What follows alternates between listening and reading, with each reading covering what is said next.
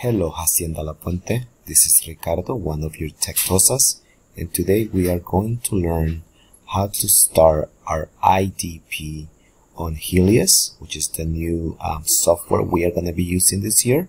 So the easiest way to do it is to go into Office 365, and I have opened it already, and go ahead and sign in into Office 365.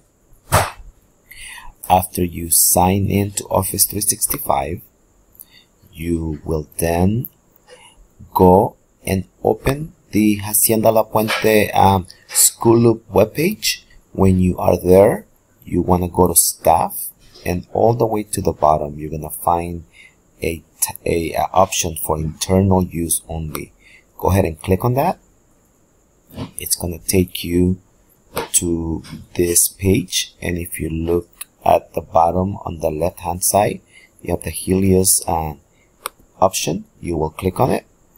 Uh, you have two options. You want to go to employees so I'm going to click on there. Because you have logged into Office 365 it's gonna automatically log you in. Now you're gonna go and click on um, evaluations here. You want to go all the way to the tab that says type and you want to go ahead and click individual plan. After you click individual plan, you are going to go ahead and save it. I have already saved mine, but once you save it, you're going to get this option right here.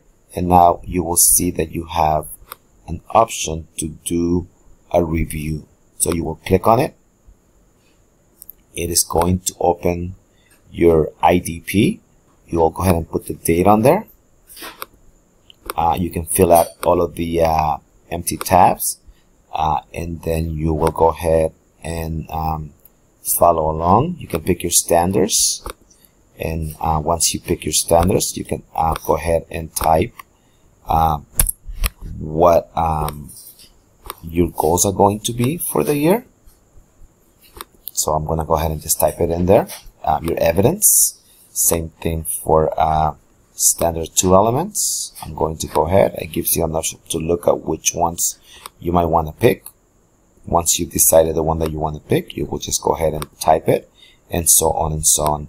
When you are finished, you can go ahead and save and you can also sign and submit and you can see it too. I'm going to go ahead and cancel right now uh, because I'm not ready to do my IDP yet, but that is pretty much um, the uh, steps you are going to follow to create your IDP under our new Helios uh, software.